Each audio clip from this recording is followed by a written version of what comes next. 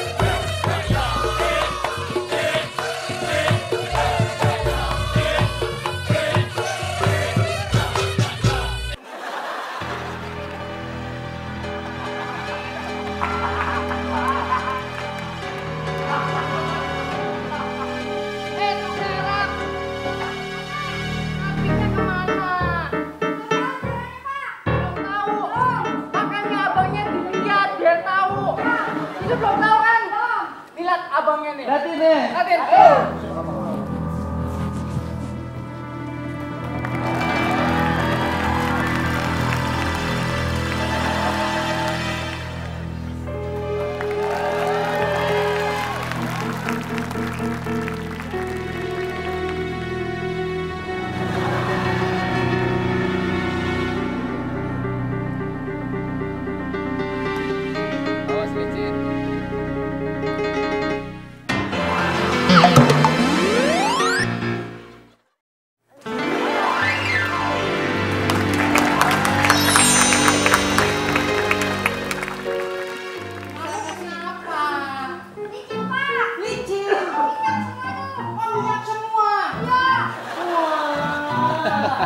Sih?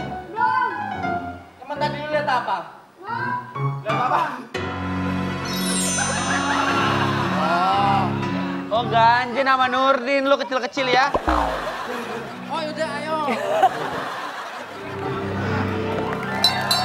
Bujang Ganong. Kasih tepuk tangannya dong. Oke. Untuk Mas Bujang Ganong tadi Cakep. Bujang Ganong. Cakep. Gak boleh gitu, Bil. Cakep banget. Gak boleh gitu. Oke, Mas Bujang Ganong sini. Kita ngobrol-ngobrol dulu. Tapi ngomong-ngomong ini adik kecilnya kenapa ngeliatin wanita cantik yang berhijab itu? Kamu kenapa? Kenapa? Karena dia cantik. Nurdin, lu dibilang cantik. Luar biasa lu dibilang cantik Eh. lu baru kali ini kali ya. Dengerin kelanjutannya. Iya. Kenapa kamu ngeliatin cewek itu? Karena Iya. dia cantik, seperti ibuku. Ibuan sekali dia ya. Oke, untuk ketiga dewan juri silakan komentar. Ganongan tuh apa sih? Eh, dari mana? Dari mana, Mas? Dari Jawa Timur ya? Bujang Ganongan. Dari Jawa Timur. Ya. Jenis tarian Keren loh tadi. daerah gitu ya. Dia memang pakai uh, apa? Itu Topeng. apa tuh namanya topeng Iya. itu? Ada yang pakai topeng besar. Kemungkinan yang ini topeng kecil. Oh, Jadinya namanya berarti- bujang ganong. Oh, bakal- kalau ganongan ada yang topeng yang besar jadi topeng. Enggak, bukan. Beda, beda. Enggak begitu juga kali Bentuknya kak. gede, bukan volume suaranya. suaranya. Ini tak sebenarnya bagus ya. Menurut gua bagus. Ini kan ke kesenian tradisional. Iya. Cuma kalau boleh saran nih maaf banget. Ini kan kalian narinya grup, performnya gru- uh, grup ya. Jadi artinya tarian awalnya pun tetap harus bisa dijaga kekompakannya. Jadi nggak seperti satu orang yang ngelit di depan, yang lain ikut-ikutan. Jadi kayak nggak nggak kompak Nggak aja kompak. gitu. Padahal secara perform harusnya bisa lebih rapi, bisa lebih maksimal gitu. Apalagi dibalut dengan komedo seperti ini. Komedi dong. Kayak dibalut dengan komedi. Komedi dong. Sabar, sabar.